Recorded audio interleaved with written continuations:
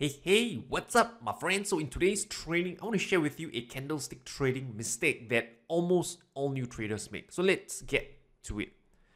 The mistake is this is that you are trading in no man's land. So, what do I mean by this? So, for example, let's say this market right now is contained between these highs and these lows. It's in a range.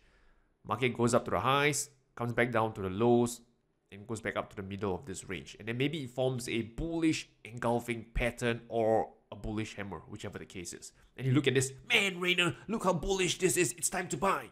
No, not quite. Why is that? It's because you are trading in no man's land. The price is in the middle of nowhere. If you look at this chart, you take a step back, you would realize the price isn't near the highs of the range or the lows of the range. It's at the middle of nowhere. And the problem with trading in no man's land is you get an unfavorable risk to reward. And let me, you know, kind of prove it to you here with a chart example. So if you look at this chart, this is the chart of dollar Canadian. Price is contained between these highs here and this uh, nearby swing low over here. And over here, you notice that there's a huge bullish engulfing pattern over here or a huge bullish candle. And traders will look at this, oh, Rayner, look how bullish this is. The price is going to the moon. It's going to Pluto. It's time to buy. So where do they buy? The price close over here, let's say you entered near the uh, open of, of the next candle, you probably go long around 1.32 oh, okay, let's say you get, get long at this price. Your stop loss, right, a logical stop loss would have to go at least below this swing low, let's say at here, 1.305. Now, what about targets? So if you look at target, this is the nearest swing high over here. So your target is possibly around 134. So if you look at this from a risk to reward standpoint, you are risking this much from here all the way down to here. This is how much you're risking. And if you look at it in terms of pips, your risk, right, let's call it RI, is about 270 pips. And your reward, your potential reward, let's call it RE, is potentially 80 pips, right? From 8 from 1.32 to 134. There's a potential reward of about 80 pips. So you can see you are risking 270 pips to make 80 pips. And if I just take my calculator over here, that risk to reward is a potential almost risking a dollar to make 30 cents. So from a risk to reward standpoint, you can see that it's pretty darn unfavorable, especially when you're trading in the middle of nowhere. So again, if you look through your past charts, whenever you see that you're trading in the middle of nowhere, just analyze your potential risk to reward. Where could the market potentially go to relative to where your stop loss should be? Your risk to reward most of the time is less than one to one. Let me give you another example. So this one here, pound Canadian. If you look at the weekly time frame over here, same thing. Price could make this bullish candle close over here. And if you access assess this chart, right, where is a logical place to put your stop loss? I would say, you know, this would be the nearest price structure, nearest swing low, possibly around 167. Where could the pos- market possibly go? I would say maybe into this area of resistance over here. So you can see that this is how much you, how much is your potential reward. Let's call it RE. And this is how much you have to risk to make that reward. Let's call this RI.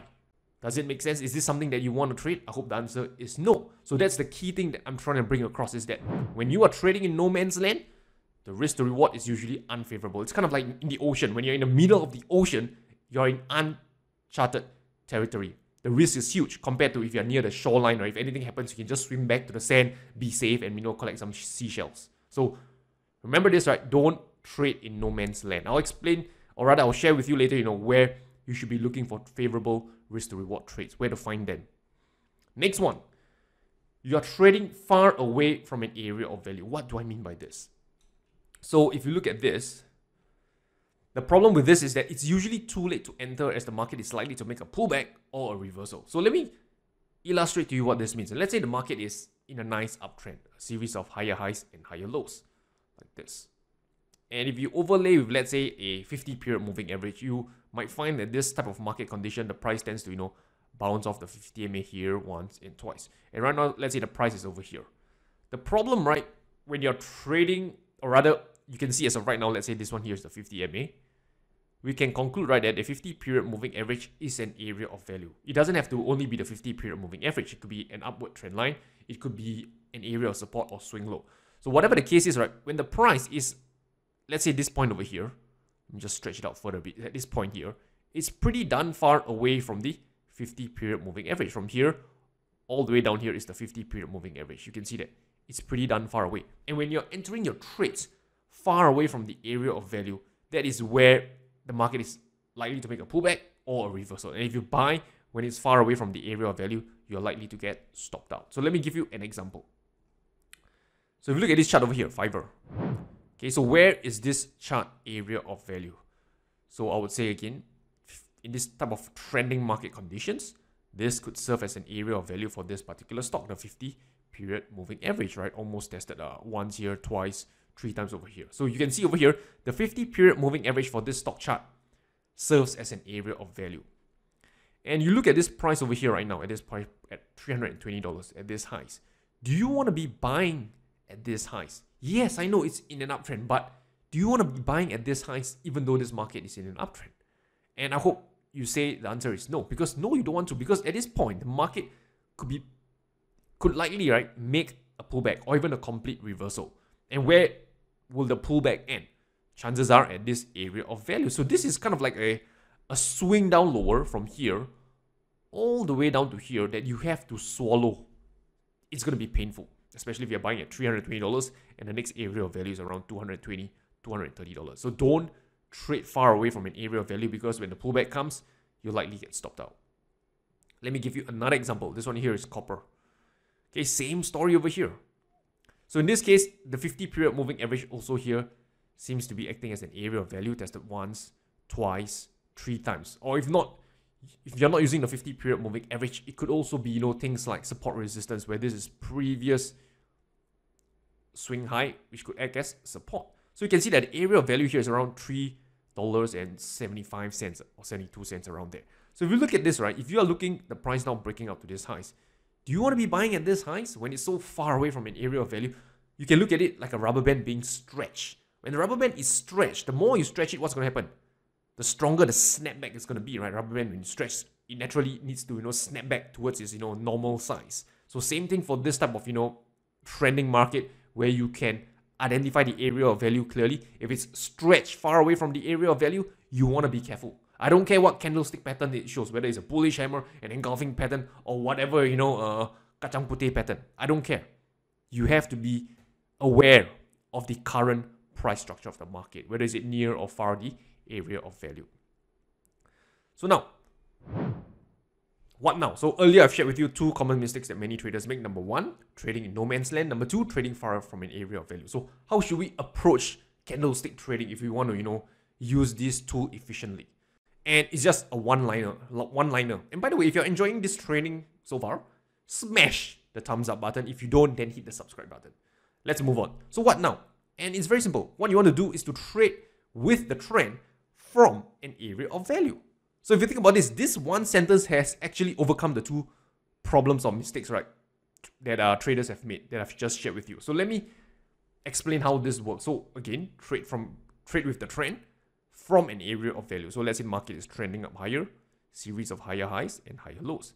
Comes back down into this area of value. Maybe previous resistance could become support. You want to be trading from this area of value. That's one example. Or another example could be, let's say market is trending up nicely like this, comes back and retests this previous swing low over here. This could be another area of value, or it could even be retesting, right? A respected moving average like the 50 period moving average. That could be another area of value in a trending market. So let me share with you a couple of examples before we conclude today's session. So first example to share with you is New Zealand yen. Okay, so if you look at this chart, let me just share with you. You can see over here, this market is in a nice uptrend, forming a series of higher highs and higher lows. So let's recap what I just said. Trading with the trend from an area of value. So what's the trend of this market on this time frame? New Zealand yen 8 hour time frame. The trend is number one, up. Number two, are we trading near an area of value? From the looks of this, we are now at this swing low, this area of support over here. And the answer is yes, trading an area of value. And number three, this is where your candlestick pattern, your candlestick knowledge comes into play. At this point, you have something that looks something like a, a close to a bullish engulfing pattern or maybe a piercing pattern, however you want to define it.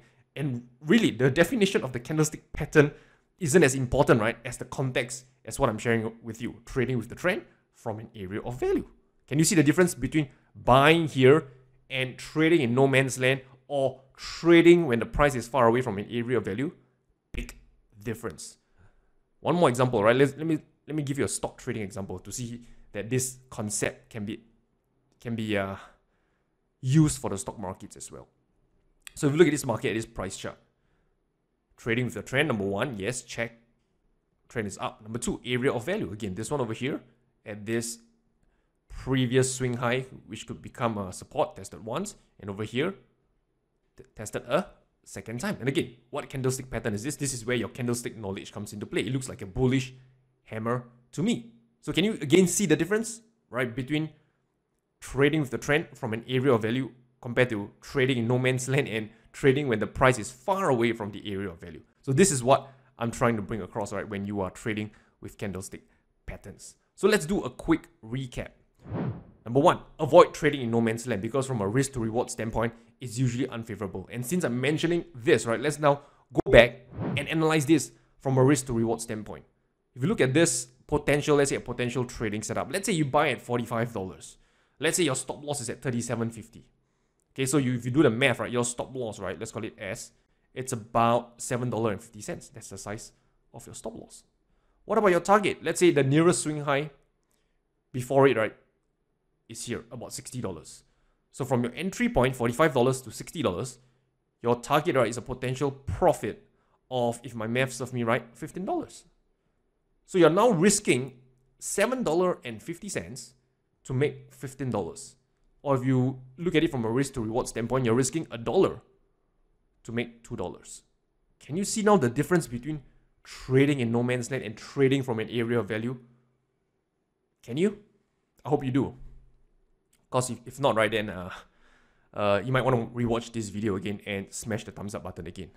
So, as I was saying, right, avoid trading in no man's land. Number two, avoid trading far from an area of value because this is where the market is likely to make a pullback or a reversal. And finally, number three, right, to really trade candlestick patterns, right, or to use your candlestick knowledge.